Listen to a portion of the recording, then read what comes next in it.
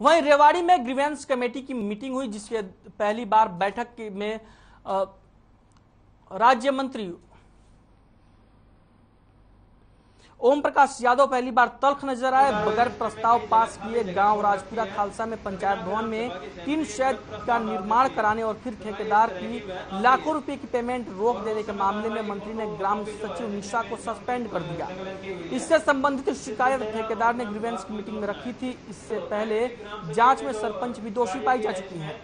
इसी के साथ दूसरी समस्याएँ भी ग्रीवेंस की मीटिंग में रखी गई, जिन पर ओपी यादव ने सुनवाई की। ग्राम सभा में आप पंचायत में प्रस्ताव।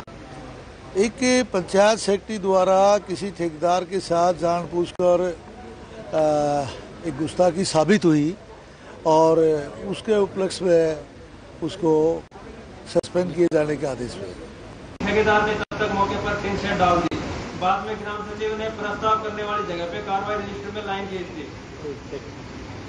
और उस